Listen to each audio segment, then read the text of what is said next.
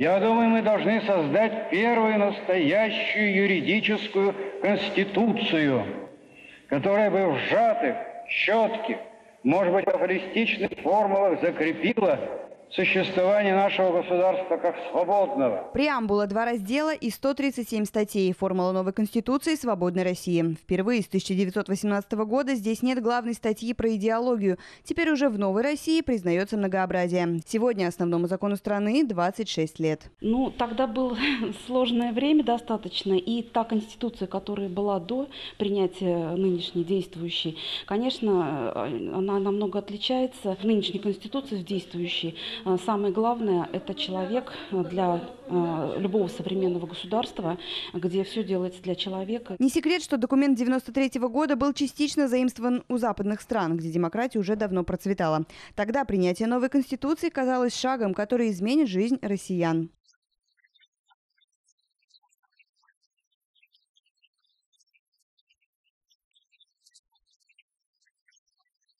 Спустя 26 лет День Конституции до сих пор напоминает о правах, обязанностях, свободе граждан и истории великой страны. В основе этого праздника уважение к основному закону страны, признание его важности для каждого гражданина России. Конституция Российской Федерации является документом, который определяет все сферы жизни, регулирует взаимоотношения и формирует пространство общественного диалога. По данным из Википедии, по итогам социологического опроса, проведенного в ЦИОМ, 61% опрошенных россиян считают Конституцию Российской Федерации документом полностью или, скорее, отвечавшим нуждам страны и ее народа. Этот опрос был проведен в декабре 2017 года. Согласно опросу Левада-центра 2019 года, 68% россиян выступают за пересмотр Конституции. К слову, правки в документ носили трижды, в годы, вошедшие в историю страны.